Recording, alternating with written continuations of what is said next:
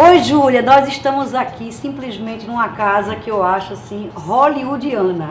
Sim, porque para Recife nós podemos dizer que a casa de Zezinho Santos é uma casa hollywoodiana, um apartamento maravilhoso. Como é que você começou a construir esse pedacinho de cada ambientezinho que você tem aqui nessa casa? Vivendo. Eu acho que a, qualquer casa que tenha impacto, que tenha significância, é resultado da vida de quem mora. A melhor resposta que eu posso dar para isso é que Turibe e eu construímos essa casa ao longo. Ela evolui com a relação da gente, ela evolui com a vivência da gente. Isso pode acontecer hoje à tarde numa esquina, pode acontecer numa viagem que seja feita daqui a dois meses, mas a casa é resultado da vida da gente. Não se constrói, não se compra uma casa assim, como você fala, hollywoodiana, talvez porque tenha roteiros porque tem uma cenografia feita com base na experiência da gente e não com base simplesmente num profissional.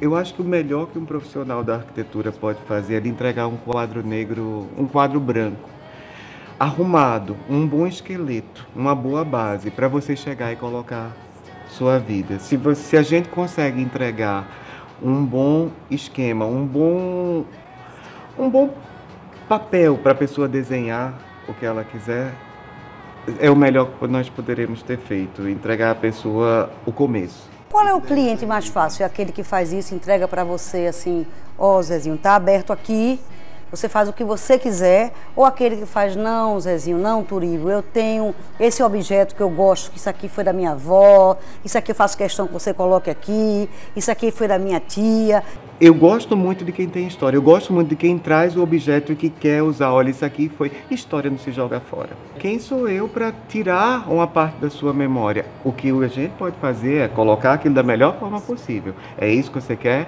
Então, aceite a dica da gente, coloque aqui ou coloque ali. Quem tem a cabeça aberta para escutar, para ouvir ideias e principalmente para experimentar uma coisa de forma diferente do que está acostumado.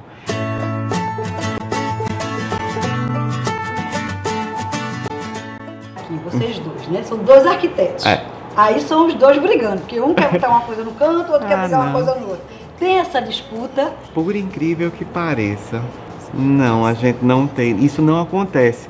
Talvez a forma que o relacionamento da gente evoluiu é, tenha levado a isso. Hoje a gente tem um tempinho em casa, muda uma coisa de lugar. E o engraçado Seu home, nessa. Então. É, é, e, chega uma coisa nova, então quando chega uma coisa nova, para colocar ela, tira uma coisa que está ali e coloca em outro lugar. Se hoje à noite eu tirar aquele controle remoto dali, eu não vou largar ele ali, eu vou colocar ele num lugar.